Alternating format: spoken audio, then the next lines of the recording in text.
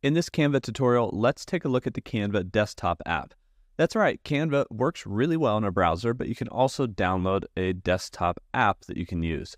So whether you're on Mac or Windows, it doesn't matter. You're going to start with a design, uh, or at least it's easier to start with a design, whether it's blank or uh, you just have a design already. And you can go up to the File drop down, and from there, at the very bottom, you see this Open in Desktop app. Now, right now, I don't think I have it installed. So what it will do is actually go over here to a download page. It knows I'm on Mac, also available Windows, iOS, Android. So it's available on your phone and tablet as well.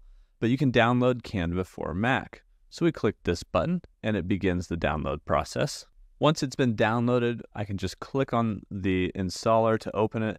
And on Mac, generally we just drag an app over to our applications folder and then if nothing happens, we can go find that app to open it up.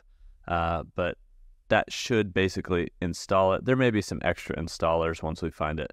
Here on Mac, you can go to your Finder window and you can find applications here in the sidebar, and then you should be able to find what you just drug in there. So Canva, and I can double click on that to open it up. Now, as Canva opens for the first time, it may ask you a few questions like, Are you sure you want to open this? You've downloaded this? Yes, of course I do. Um, we'll make sure we log in up. But once you get logged in, you're going to be here on the main Canva app page. And this is very similar to the browser version where you have all of your recent designs, some quick templates that you can start with, your home and projects here on the left hand side. And then, of course, this just create a design button up here in the upper right. Now you can see I've got Canva as an app in my dock now. I could bring it over into uh, the main part of my dock to keep it in here. But this is the Canva app, so I'm not actually online anymore. So I'm just going to click on a design that we had open before. In fact, the one that I had opened at the beginning of this in the browser, we can just click on that and there we go, we're right back to it. Now, what the app does is it gives you a little bit more space around your window, right? You don't have the URL bar or anything at the top.